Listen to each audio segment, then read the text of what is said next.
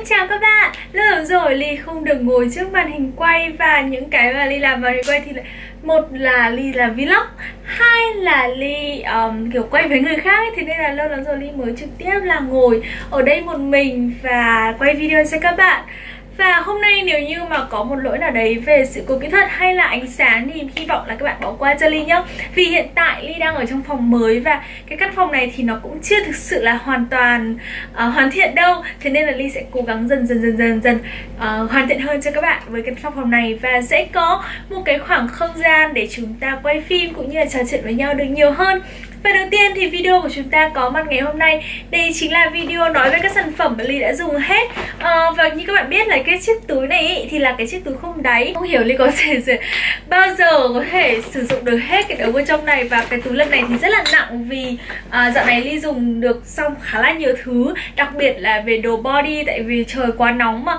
tắm rửa rất là nhiều. Thế nên là hôm nay chúng ta sẽ thử xem xem là trong chiếc túi này của Ly có những cái gì nhá. Về đầu tiên thì chúng ta sẽ có ngay ở đây Đấy chính là Nivea. Đây là nước tẩy trang Nivea. Ly đã có cái bài review rất là chi tiết về cái sản phẩm này rồi Và Ly đã dùng hết sạch sành xanh. Không còn một giọt nào, à đâu, còn một giọt trong này.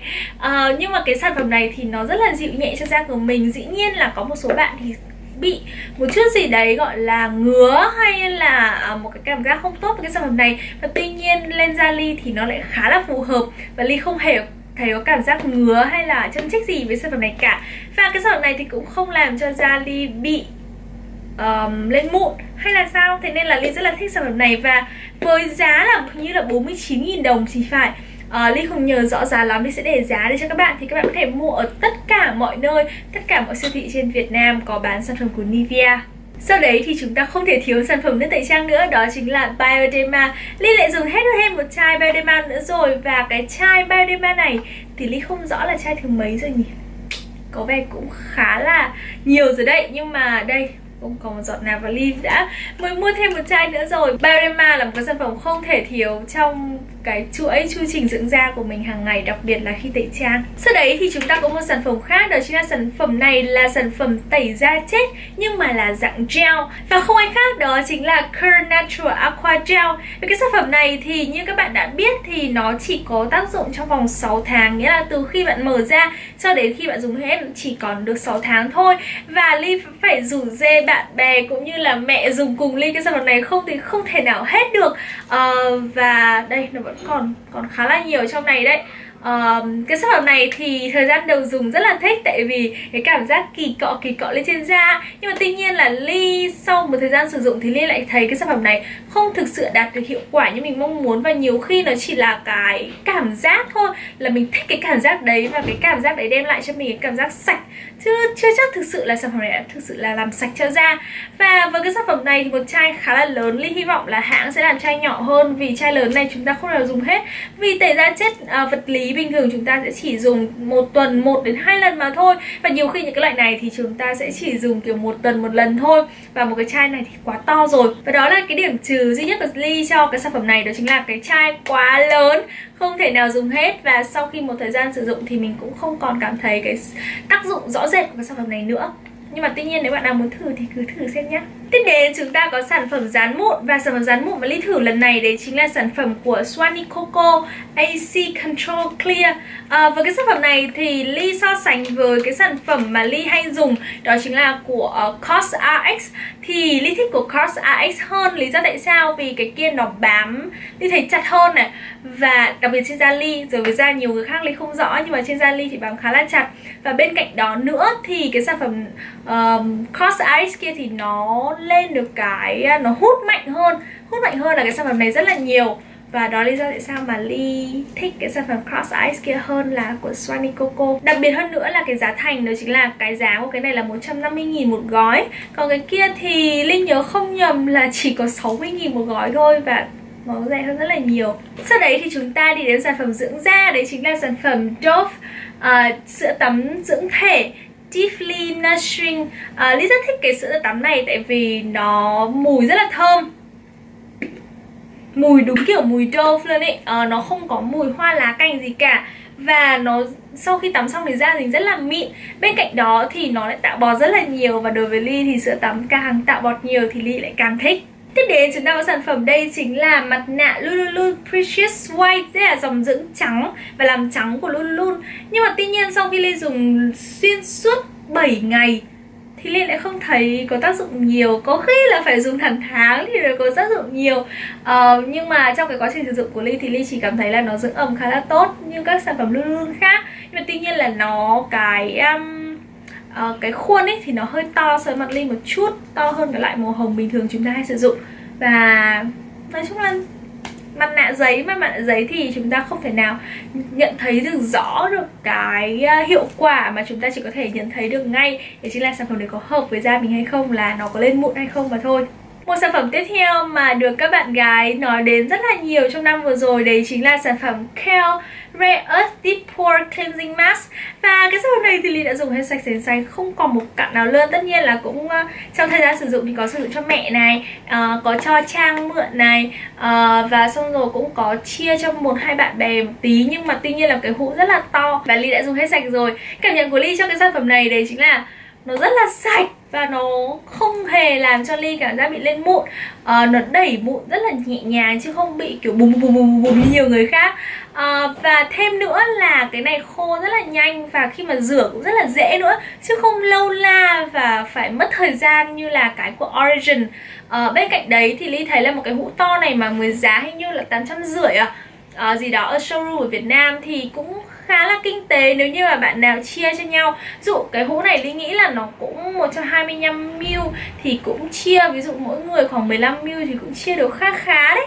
Cũng không không phải là quá đắt đỏ gì đâu. Thế nên là bạn nào mà hay mua chia hay là mua share thì cũng nên mua sản phẩm này thử xem thế nào. Và như các bạn đã biết thì Trang, Linh, Trinh và Ly đều thích sản phẩm này. Rồi chúng ta đi đến sản phẩm skincare nữa. Đấy chính là sản phẩm uh, The Body Shop Aloe Calming Toner. Đây là cái sản phẩm toner mà Ly cảm thấy nó rất là dịu nhẹ cho da. Da bạn nào đang trong quá trình đẩy mụn Hoặc là da bạn nào đang trong quá trình mà dễ bị dị ứng Thì các bạn nên sử dụng cái sản phẩm này Tại vì nó rất là dịu nhẹ. Cho sản phẩm này thì khi mà ngửi mùi thì chúng ta cũng không ngửi thấy mùi cồn hay như là một cái mùi gì đấy khó chịu kiểu hương hoa mà nó rất là dịu nhẹ và khi mà dùng lên trên da kể cả dùng với cả máy Hada Clear thì nó tẩy cũng nó làm cho da chúng ta cảm giác rất là sạch và sau đó thì da nó bưng bưng bưng bưng bưng bưng ấy chứ không bị là kiểu khô rát hay như là bị ẩm quá và ly đây là chai thứ hai ly dùng của tập đoàn Shop Allure Calming Toner rồi.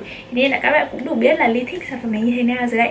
Một sản phẩm toner khác mà ly muốn khoe với các bạn đấy chính là sản phẩm uh, Dermalogica Clear Start Breakout Clearing All Over Toner. Cái sản phẩm này thì ly thường xuyên sử dụng dạng xịt uh, Khi xịt xịt lên trên da và sau đó vỗ vỗ nhẹ nhẹ nhẹ nhẹ lên trên da mà thôi Chứ ly không đổ ra bông và xong rồi xoa lên trên da như bình thường đặc biệt là buổi sáng khi mà đúng cái thời kỳ chúng ta đang bị mụn ấy thì khi mà xịt cái lên cảm giác là nó cho cái da mình được sát trùng. Và trong cái này thì nó có salicylic salicylic acid cũng như là uh, seed uh, giúp cho cái bề mặt da chúng ta không bị da quá nhiều dầu. Và bên cạnh đó thì nó cũng có cả lavender này có cả chamomile organ giúp cho cái um, lỗ chân lông chúng ta không bị đỏ, tấy đỏ, da không bị tấy đỏ và cực kỳ cực kỳ phù hợp với da mụn. Nếu như bạn nào mà da dễ bị mụn hoặc là da hay lên mụn thì nên đi khám bác sĩ cũng như là có thể tham khảo một số sản phẩm của Dermalogica để có thể trị mụn.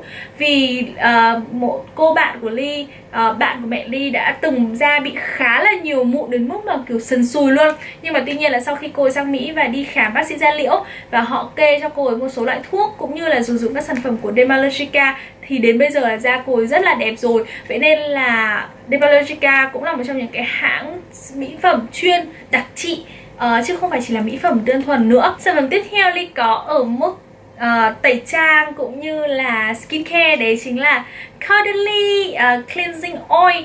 Cái này thì ly dùng um, khá là thích thích ở một chỗ đấy chính là nó uh, rất là mướt lên trên da của mình. Khi mà các bạn dùng uh, dầu tẩy trang ấy mà các bạn khi mà các bạn massage lên trên da các bạn cảm thấy mướt mướt thì nó rất là tốt cho da. Tại vì lúc đấy thì chúng ta mới thực sự là chúng ta không phải dùng quá nhiều lực nhưng mà vẫn có thể tẩy được hết tất cả các cái bụi bẩn ở trên da của mình. Còn nếu như mà cái sản phẩm uh, nước dầu tẩy trang nào mà làm bạn phải dùng hơi nhiều lực hơn một chút lên trên da thì chưa chắc là đã tốt. Tại vì như thế là chúng ta đang gây một chút gì đấy tổn thương lên trên da của mình. Và với cái sản phẩm này thì nó đem lại được điều đó cho Ly tuy nhiên là sản phẩm này thì lại không tẩy được uh, waterproof mascara. Ly không hiểu sao Ly dùng L'Oreal Miss Manga để tẩy và cái này thì không tẩy được. Ờ, uh, Ly phải dùng sang Shuimura thì mới tẩy được uh, cái phần uh, cái phần mi uh, mà dùng waterproof của Ly thế nên là Ly sẽ recommend cái này cho các bạn nào mà ít trang điểm cũng như là ít sử dụng các đồ waterproof nhé. Thôi hôm nay Ly sẽ quyết định là chúng ta sẽ chỉ nói về skincare thôi nhá. Còn các sản phẩm makeup mà đã dùng hết thì chúng ta có thể nói ở những video lần sau. Và sản phẩm skincare tiếp theo Ly đã sử dụng hết đấy chính là Lancome Blanc Expert uh, ờ, Essence in Lotion. Đây là cái sản phẩm mà Ly phải gần rồi một năm thì Ly mới sử dụng hết được. Vì mỗi lần chỉ cần đổ 1 đến 2 giọt ra lòng bàn tay, Sau đó thì áp nhẹ lên trên da của mình và massage rất là nhẹ nhàng thôi, Chứ không cần dùng quá nhiều. Và trong cái thời gian Ly dùng cái sản phẩm này thì Ly cảm thấy cực kỳ da cực kỳ cực kỳ nhiều dưỡng ẩm và nhiều hôm á, mà thời tiết không bị quá hanh khô uh, hơi ẩm một chút thì Ly chỉ cần dùng cái này thôi. Và nhiều hôm là lăn lên trên giường và quên không sử dụng kem đêm luôn. Nhưng mà Ly cảm thấy là hôm sau da vẫn rất là mịn và da vẫn rất là đủ ẩm.